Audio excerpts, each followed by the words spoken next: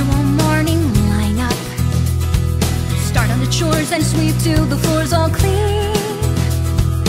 Polish and wax, do laundry and mop and shine up. Sweep again, and by then it's like 7:15, and so I'll